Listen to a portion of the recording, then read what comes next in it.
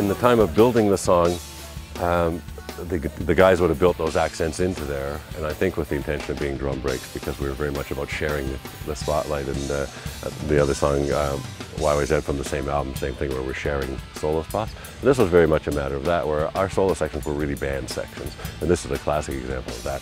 Geddy and I are pretty much soloing through that guitar solo too. So when it comes to climax, and then I, I get a little uh, break in there, and really it would be just a straight run down the toms, except for the Keith Moon influence random crash cymbal, you know, that just um, following his example, I just, I, again, took a completely different figure than anything he would have played, but applied that idea to it to make it fresh.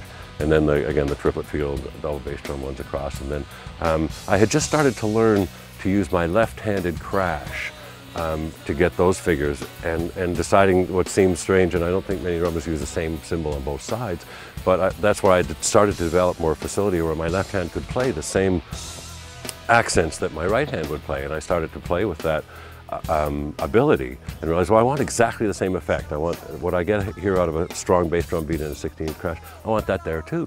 So um, that's the perfect kind of figure where between uh, snare hits, I go accent to accent left, and I have the same cymbals there, and then it's just a syncopated pattern like that.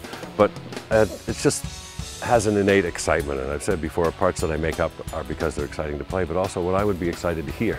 You know, there's a, a feedback loop like that that's uh, inevitable, that, that what you like to hear and what you like to play are going to intersect in your idea of what exciting drumming is. So that's the kind of frenetic thing that comes um, comes into play there. Is just just build and build into something crazy. But this is the idea of crash cymbals uh, syncopated with bass drum beats across the bar. Even the idea of it sounds exciting to me now, so I know that's why my mind went that way at the time, you know, something a little more spacious to do after the big triplets too. So that was a, a of, of, changing textures too, would have been um, in my mind in putting those together. And again, something that's, um, that never gets easy to play.